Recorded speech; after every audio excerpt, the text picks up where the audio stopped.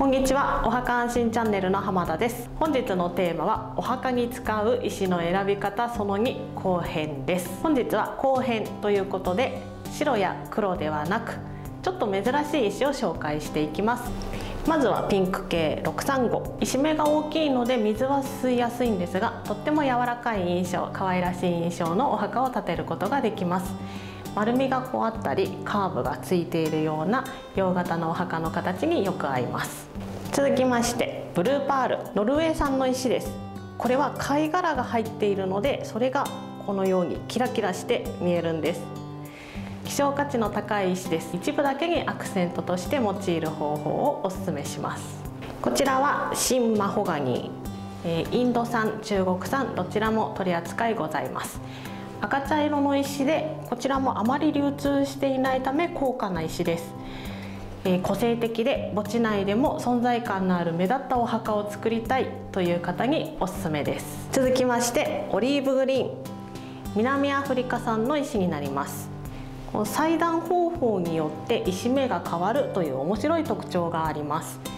こちらのサンプルはラインという石目もう一つはフラワーと言います。緑色のベースに黒い花のような模様が生まれるということでこう呼ばれています。石目の出方が変わるため扱いの難しい石ではありますが私個人的には好きな色味の石なのでこの石を使ったお墓作りのお手伝いができたらと思っています。近年洋型のお墓は特に2種類の石を組み合わせてツートンカラーでお墓を建てる方が多くなってきました。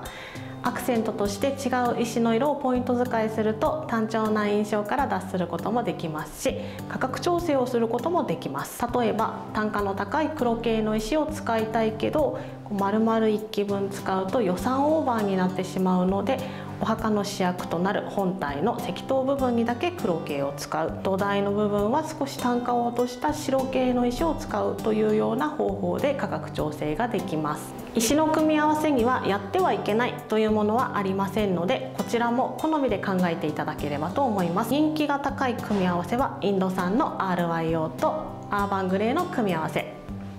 石の品質もどちらもいいですしアーバングレーをベースに黒の RYO を目立たせてあげることができます。このように名板という形で使ったり参道と呼ばれるお参りをする時に立つ部分のみに使ったりするのがおすすめです。ブラスト加工をしてみたいという方にもこの組み合わせ特におすすめです。同系色でまとめたりあとは石目を合わせるということを意識すると統一感が出てきますね。ここまでたくさんある石の中で品質が良いとされているものは水を吸わない変色をしない硬くて丈夫というような特徴があるということをお伝えしていきましたが極用のために何度も訪れる場所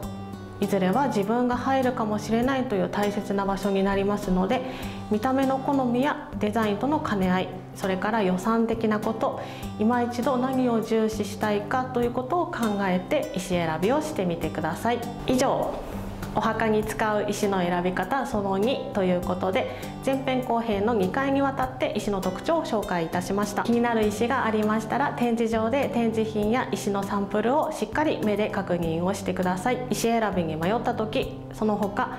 疑問点やご不安に思っていることがございましたらいつでもお気軽に私たち帝北石材にご相談ください。それでは本日も最後までご視聴ありがとうございました。